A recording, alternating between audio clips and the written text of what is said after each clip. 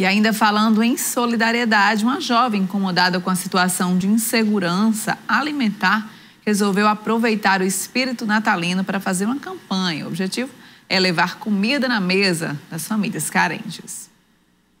E nessa época dos festejos natalinos, em que na verdade se aproxima, sempre tem alguma campanha para ajudar aquelas famílias que precisam do apoio da sociedade. E a gente vai falar agora justamente de uma campanha de arrecadação de alimentos com Jéssica Silva, que é idealizadora de um projeto. Jéssica, eu queria primeiro que você falasse para a gente como começou e de onde veio essa ideia de ajudar essas pessoas agora nesse período de Natal que vem chegando. Esse, né, é o primeiro ano da campanha Violetas Solidárias. Essa campanha foi pensada inicialmente para lembrar um pouco da campanha que a minha mãe fazia na minha cidade, que é Tenente Ananias.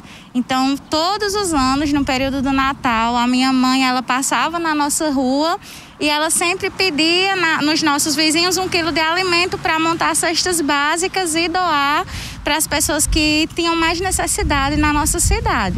Esse ano, como eu não moro mais lá, né, moro aqui em Mossoró, e a gente sabe que está tudo muito difícil, principalmente devido à pandemia, eu decidi iniciar né, a campanha Violetas Solidárias junto com alguns amigos para a gente conseguir é, fazer um Natal mais feliz de algumas famílias aqui em Mossoró. E você já sabe aí para quais famílias você pretende doar os alimentos que conseguir arrecadar?